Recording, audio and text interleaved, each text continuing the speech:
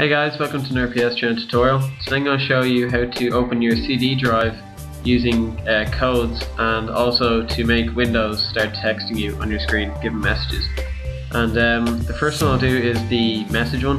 Uh, what you want to do is um, copy and paste this code, I have it in the description box, into just a notepad and um, you want to save it as a VBS file. So I just called mine um, click.vbs and then when I double click on it, it should come up this.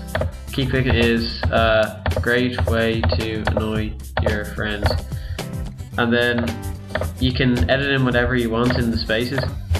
Um, so make sure you just have the bracket and in the quotation marks um, whatever you want to say and you can add more lines if you like like further down um, the next one I want to show you is how to open your CD drive using codes um, now this is also in the description box just copy and paste it into a notepad document and just save it as a VBS file as well and then call it whatever you like and uh, when you double click on it it should open your CD drive